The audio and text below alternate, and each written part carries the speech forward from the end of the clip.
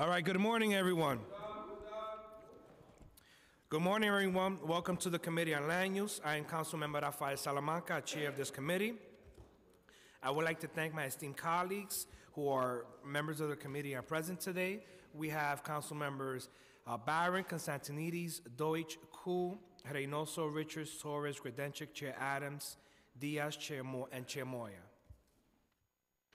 I want to thank Chair Moya, Chair Adams, and Chair Kalos for their work on our land use subcommittees. Today, we will be voting on projects referred out of our zoning and planning subcommittees. From our zoning subcommittee, we will vote to approve LUs 333 and 334, the Caton Park Nursing Home rezoning in Brooklyn. The applicant seeks approval of a zoning map amendment to rezone the corner of Caton Avenue and Rugby Road from an R3X district to an R6A district and a related zoning text amendment to map a mandatory inclusionary housing area utilizing option one and option two.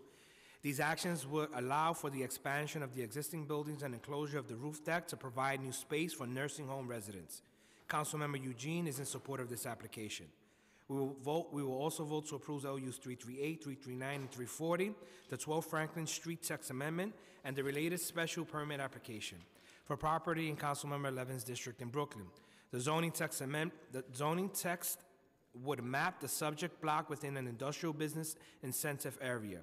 The special permits would also allow an increase in floor area for industrial and commercial uses, modify height and setback regulations, and reduce the offset parking and loading requirements.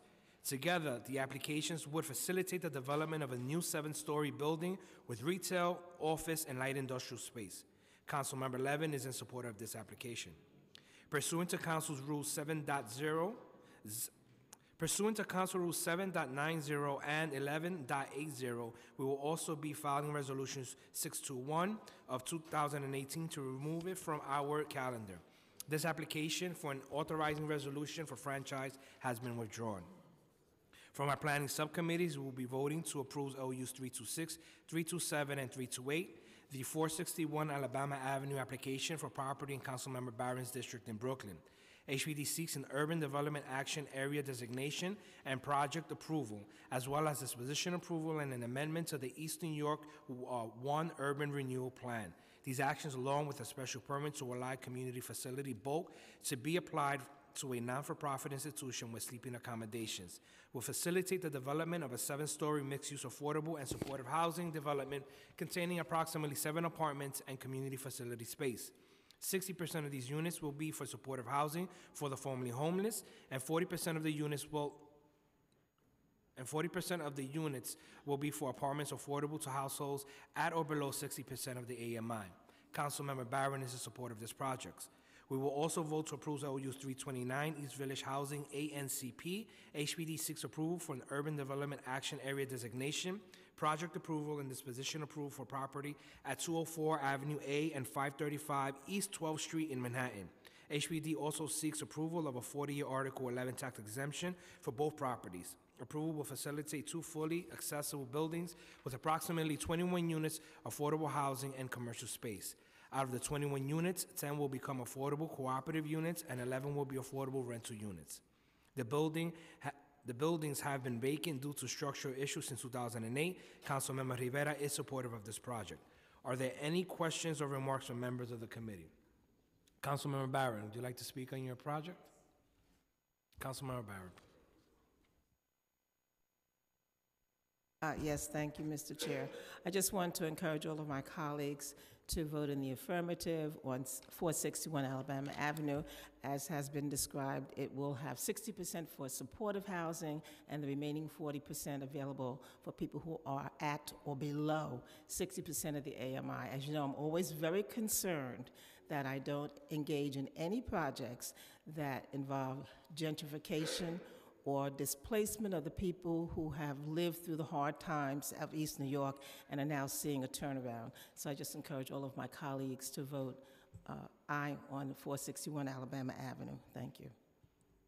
Thank you. Just want to recognize that we've also been joined by Councilmember Miller and Rivera. I will now call a vote in accordance with the recommendations of the local council members and the subcommittees to approve LUs 326, 327, 328, 329, 333, 334, 338, 339, and 340, and to file Resolution 621. Will the clerk please call the roll? Matthew DiStefano, Committee Clerk, Committee on Land Use. Roll call vote on the aforementioned LUs and all accompanying resolutions, as well as for Resolution Number 621. Chair Salamanca. Aye or no? Barron. Congratulations, uh, Councilmember Barron, and I vote aye, and everyone else.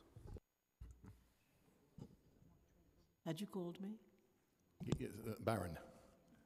Uh, Thank you. I vote aye on all. Constantinides. Aye. Deutsch. Aye. Koo. Aye. Miller.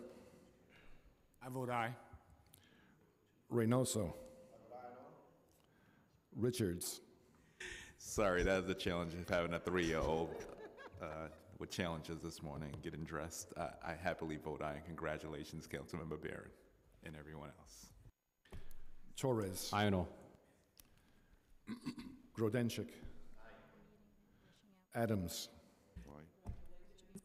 Councilmember Barron, congratulations. I do vote aye on all. Diaz. Aye. Moya. Rivera. Permission to explain my vote? Uh, Councilmember Rivera to explain her vote.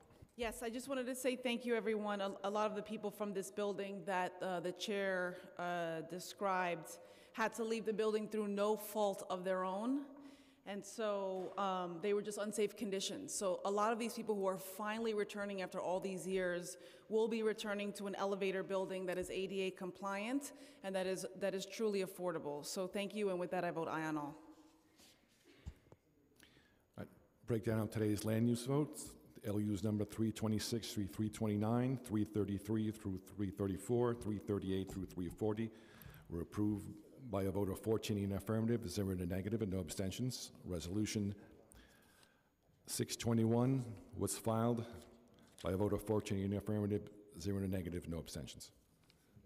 I would like to thank the members of the public, my colleagues, council and land staff for attending today's hearing. We will leave the roll open for 10 minutes.